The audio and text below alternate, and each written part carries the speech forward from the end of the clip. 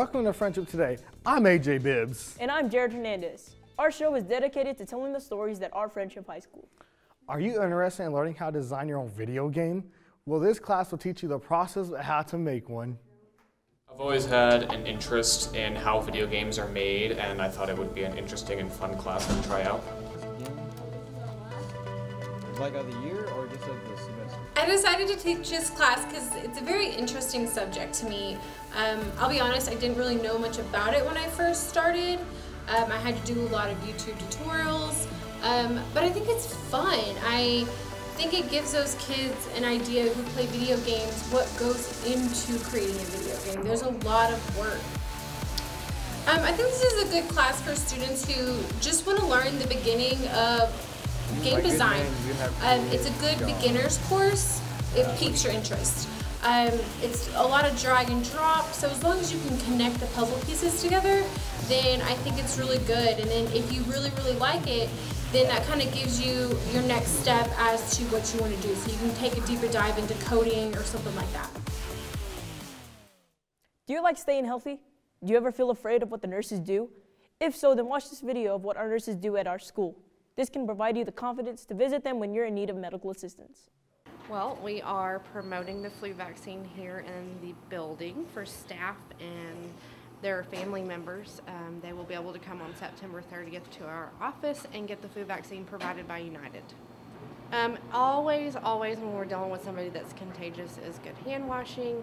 Um, we can mask up if we need to, um, but just cleaning and um, hand washing and gloving up as needed during the flu season is the best way to take care of that. Um, they'll be achy, um, they will have high fever. sometimes with flu B, you're going to see stomach bug symptoms, so vomiting and diarrhea. I assess them, I take their temperature. I kind of question them on what's been going on and how long, and then if needed, I call the parent to pick them up. Um, we're having a flu shot clinic for our staff, and we encourage our students to get their flu shots. Um, we encourage hand washing, and we want everybody to not share drinks, don't be passing your phone around, and try to minimize germ transfer as much as um, depending on their symptoms um, we usually isolate them in a room until their parent can come get them um, we, you know, we frequently, frequently wash our hands um, during flu season, and um, yeah, I don't know. We isolate them till they go home. Um, they will have a high fever. Their eyes will be red and glassy from the fever, um, coughing, sneezing, um, headache. Um, we check them out and we see first if they're running fever and we look at their throat to see if their throat is red and rashy. Um, it's sometimes accompanied by body aches, their skin color. Um, there's a multitude of things that you look at because everyone is different.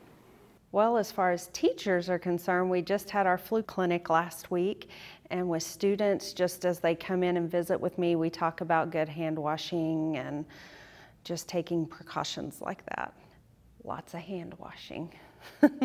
Unfortunately, we have to be up close and personal with students when we're taking temperatures and visiting with students, so it's just a lot of hand washing. It's typically really high fever, body aches, chills, sometimes sore throats, not always, but it's more just your body aches and high fever symptoms. That is different for everybody because I've had some that didn't even have a fever and they tested positive for flu. So, but it's typically 102 or higher that we see when the kids do have a fever. We typically call the parent and have them go home and go get tested because you have to go get swabbed. It's a swab up your nose that they do to check for the flu, and we highly recommend parents to take the student to get checked. So, so we, we, were, walking, walking to school. I started thinking about lunch. Mom packed me turkey and cheese. She's I really smart. cheese pizza. Sometimes her mind wanders. We should have a sleepover. I remember saying, Laura? I think I heard Laura. Mom say something. The sign says don't walk. Sometimes it's so overwhelming. I really hope she doesn't have really another bad day. I really hope I don't have another bad day at school today. When you can see learning and attention issues from their side, you can be on their side. Go to understood.org, a free online resource with support and tools to help your child thrive. Today I'm going to talk to you about physics. Come on in, girls. Let's go. This is the first rocket to get humans to Mars. Really tall. I'm a rocket structural engineer designing and building parts of the rocket. You are the generation that will be stepping foot on Mars. Do I have a group of astronauts on my hands? Yes. You can become a rocket scientist or whatever else you want to be. Have you ever wondered what it takes to be a cop or what they must do to protect us? If you are interested, then go listen to Officer Ingram, one of Frenship's policemen, as he talks about his job. My name's uh, Officer Sean Ingram. My nickname is Groot. I was uh, at the SO, the Sheriff's Office, for seven years. I was on SWAT for the last three years, SWAT and Warrants Division. Ever since I was a little man, I always wanted to be a cop. Ever since I was a small boy, man, just always watched cops and just looked like something I wanted to do. I've been in lots of pursuits. I've been in lots of foot pursuits. I actually hurt myself last November running through a fence chasing a guy. I have 13 screws in my shoulder from that little episode, but you know, I've, I've seen a lot of craziness. I was the uh, primary breacher for the SWAT team, so I did a lot of training and teaching on breaching doors and how to get into places. Broken many of fights up, been in many of fights. You know, it's you know, in, in the cop world, that's not the what you want to do. You don't want to just automatically want to be in fights. You want to, you, you know, your your number one tool that you have is your voice and your ability to de-escalate situations. So, you know, like I said, I've been in a lot of fights, but I've also de-escalated a lot. I want to keep doing this until I can anymore. You know, this has always been a dream of mine, and it took me a long time and a lot of uh, time and effort to get to where I'm at. Are you curious to what you need to do during a fire? Listen to this video where you will learn ab- about drills and fire safety. May I have your attention, please? May I have your attention, please? A fire has been reported in the building. A fire has been reported in the building. Please proceed to the stairways and exit the building. Do not use the elevators. Hi, I'm Aaron from the FMS broadcast team, and I'll be reporting on the safety drills we have set in place this year. First, we'll be talking to. Reese about why these drills are so important and how they keep us safe. Well, you know, school safety is really the most paramount thing that we do.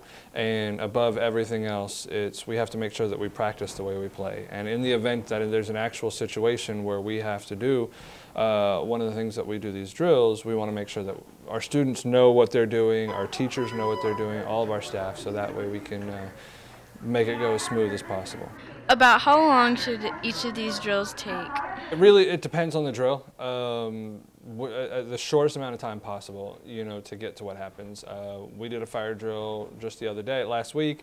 Uh, we had the entire buil- building evacuated and all the students accounted for in about four minutes. Um, I'd like to get that down to about three minutes if we can. Um, it shouldn't take us any longer than that to, to get it done. Um, and then, like when we do lockdowns and stuff like that, it should be instantaneous. How many drills do we have every year? Okay, so um, you know we'll do drills for evacuations, uh, fire drills, stuff like that, uh, weather-related drills. So if we have to move away from our exterior do- doors due to weather, uh, you know the high-level lockdown stuff, um, holds, things of that nature. What is the goal for all of this? You know, our, our number one goal above everything else is the safety and well-being of the students and staff here at FMS. That's that's really our first priority above everything. Now you know why these drills are so important and why they all keep us safe. Sometimes the things we do or say can make others feel hurt, excluded, or isolated. Everything you say and do creates an impact. How am I supposed to save the whole world? You can't think about saving the world. You have to think about saving one person. Because of you, someone's entire life can change. You don't have to be a superhero to have a positive impact. Friends? Friends.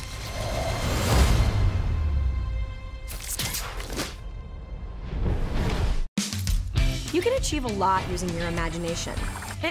I mean, I don't like to brag, but. Wait, who's that? And why is she all over these achievement awards? But with STEM, the sky's the limit. Shaboom! Use STEM to envision. Okay, I'm seeing it. Yeah. Invent. Got any ideas? I've got a few, actually. And create a better world. Told you she's super smart. If she can STEM, so can you. Find out more at She Can STEM. Hey, let's check out this park.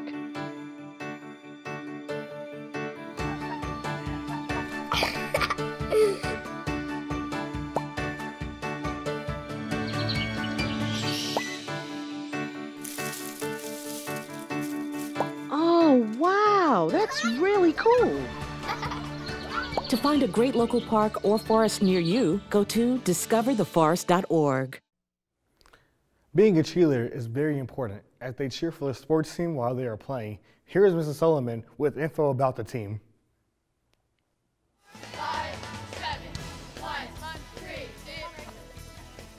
Well, I think it's just my background. I was a cheerleader actually here at Frenship High School. So it's one of those things that I really wanted to be involved um, with student organization and it just worked out that it was something that I was used to and that I've done before and I just have true passion for it and also tradition and just knowing that it's something that I could give back to the school.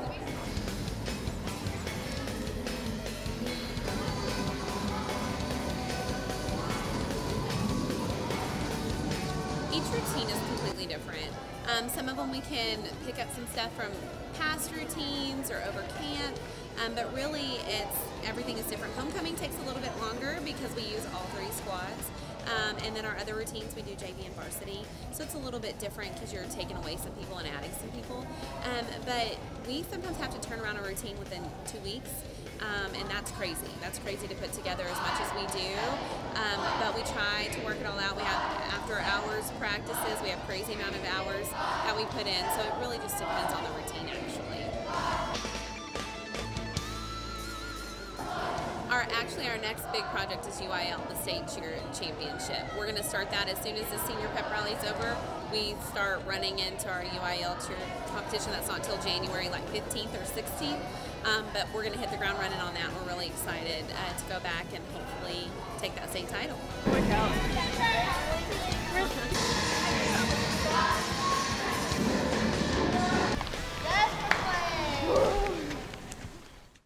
Love fantasy and role playing? Then this is the game for you. Mr. Cortez tells you about D&D and the program here with it. My name is Joshua Cortez.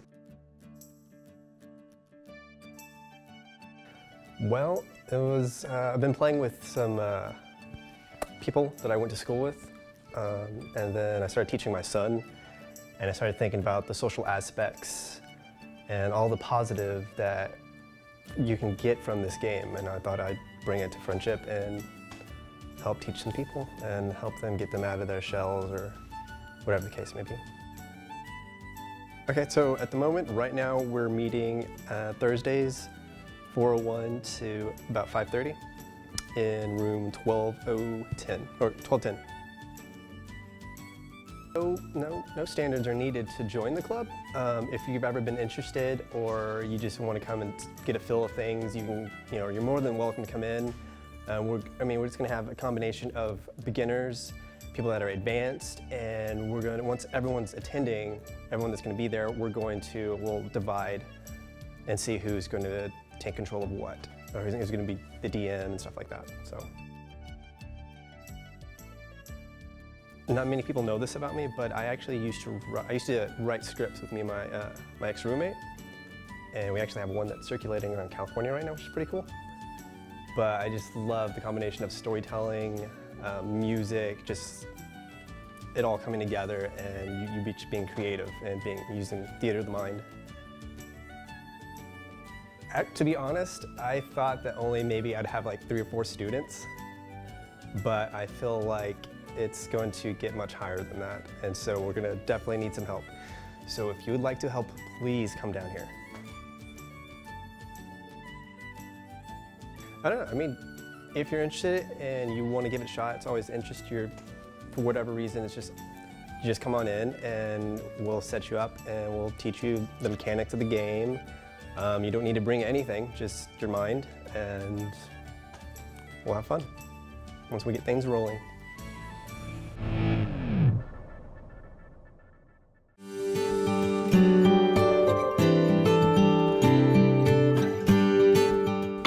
Frenship, we believe in the Frenship way.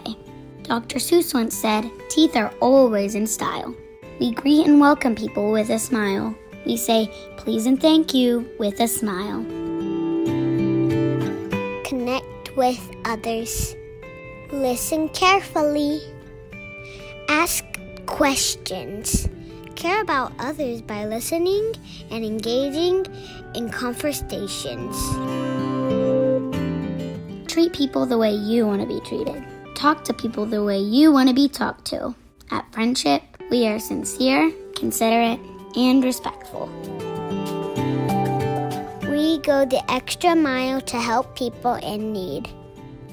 Wherever you turn, you can find someone who needs you.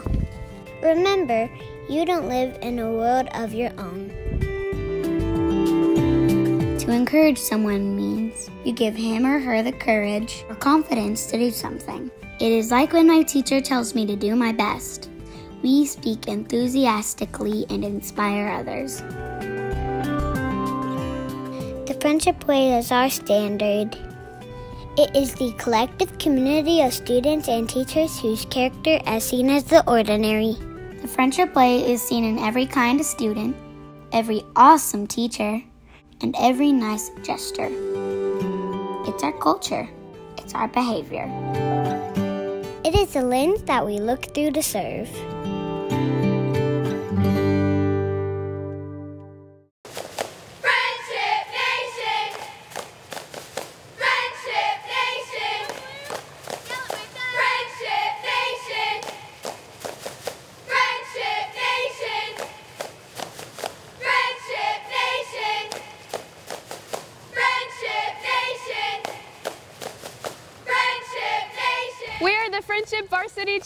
And we're supporting our Tigers. I already knew that I was going to go to college, you know, from a young age. I definitely want to major in political science. After that, I'm going to get my law degree. Then I'm going to come back to Detroit, boost the economy, become the mayor or something, try to make the situation better for other people. I feel like I owe it to the city. I'm determined. It's it, it's gonna happen. My name is Justin, and I am your dividend. Do you want to retire like a champ? Just like legendary basketball star Uncle Drew? Don't do him like that, Uncle Drew. You're already acing the game. You've got your dream ride. Don't be slamming my door. Sorry about that. You just did the Nah, same. gotta get the boys. Your dream vacation and your dream team. And now you can make your retirement just as legendary. I get buckets. Get the tips you need to get on track at aceyourretirement.org. Interested about the history surrounding Vietnam and the war between them and the U.S.? Listen to Coach Allen talk about his class about the war.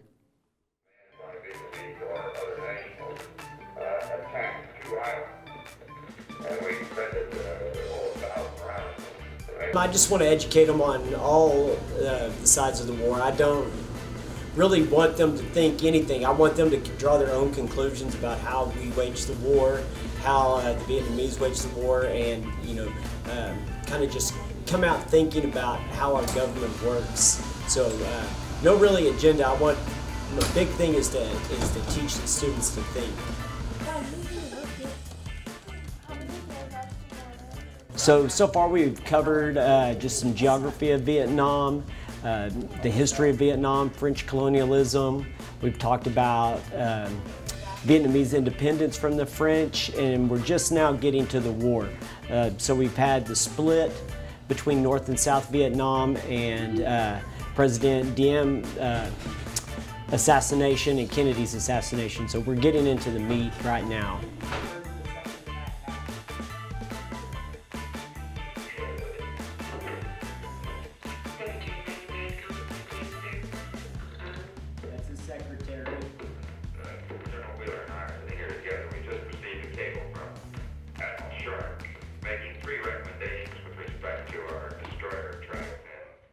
Feel pretty good. I kind of surprised. I, I thought I was going to end up teaching maybe a section each semester, and then uh, got my class schedule and saw that I was teaching three, so that was kind of a shock. So I'm kind of surprised and happy that a lot of people are interested in taking it. And you know, like I said, the big goal is just to uh, hopefully the students get something out of this and kind of learn how to think critically about history.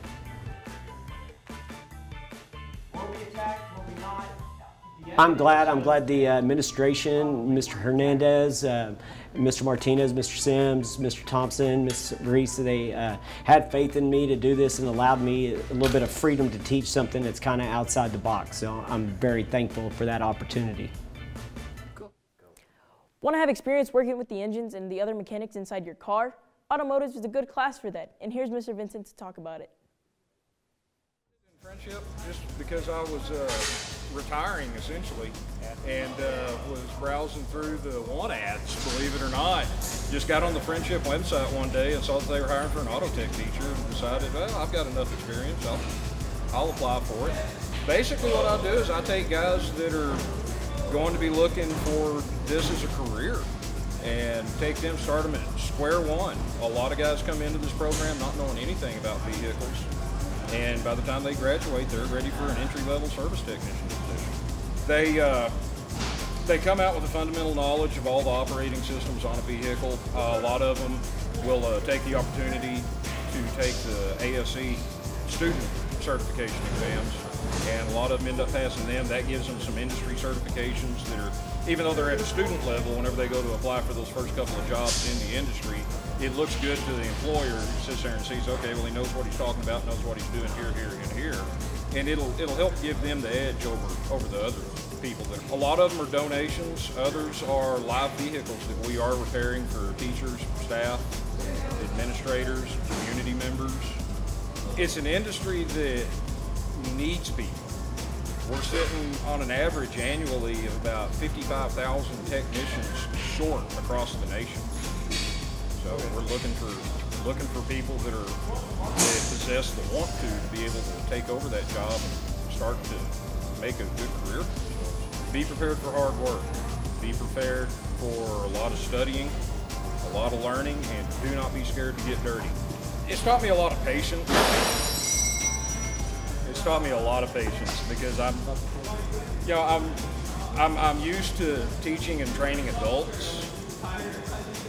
So since I teach and train adult, taught and trained adults for so long, that I unfortunately came in with a, a lot of ideas that a lot of people were going to get it real quick, and it just ends up not being the case. So I have to like step back a little bit and realize that, hey, this guy hasn't been doing this for 15 years, so now I've got to break it down even farther and explain it step by step.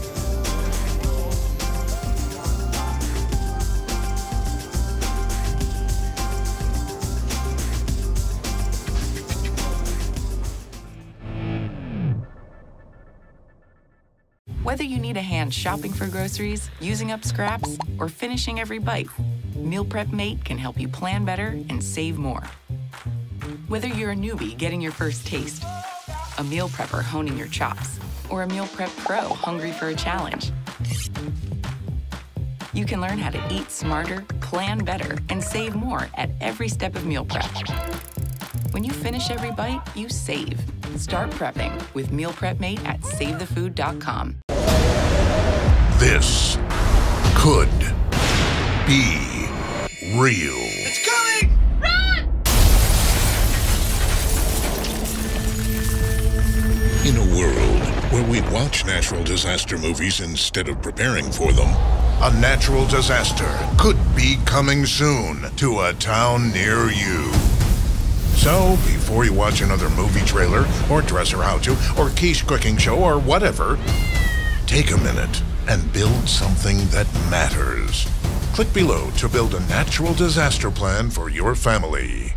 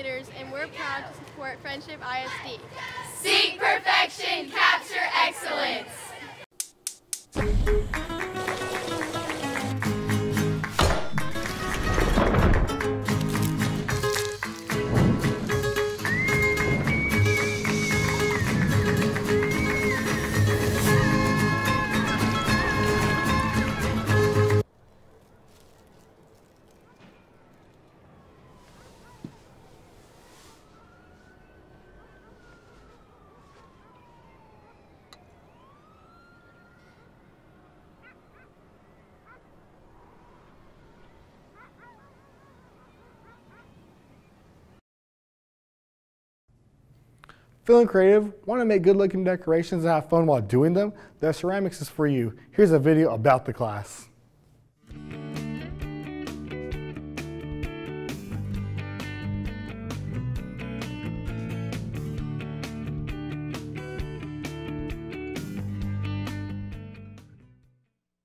Uh, ceramics is a class here at the high school that deals with clay, uh, and we either do hand building stuff, or we work on the wheel, or a combination of both.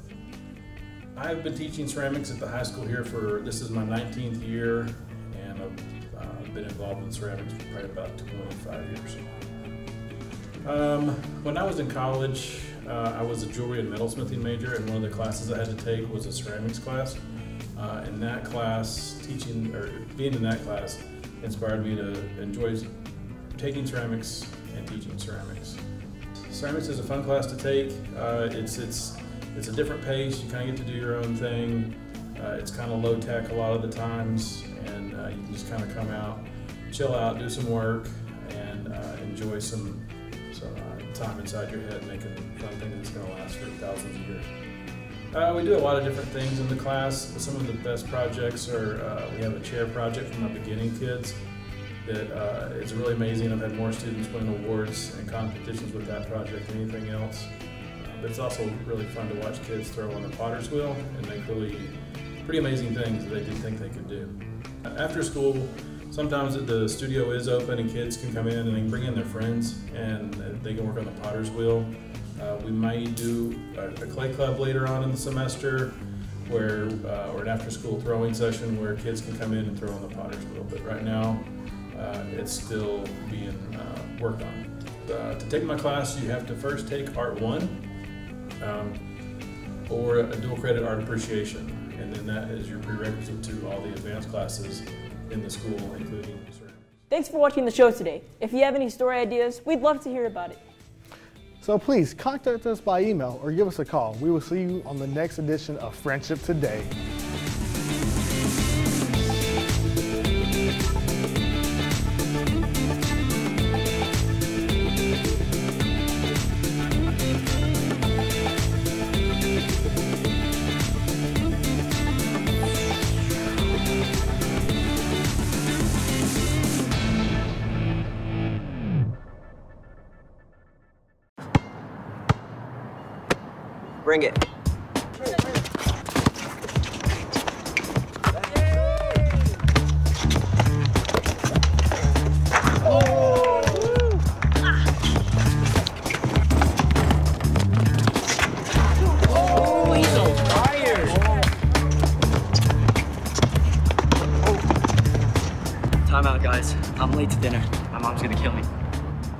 Guys later. Mom wants us home. Okay. Bye, guys. You guys need a ride? Sure. yeah. All right. How about some one-on-one? Uh, I gotta go eat, man. Sorry, I'll, I'll see you later.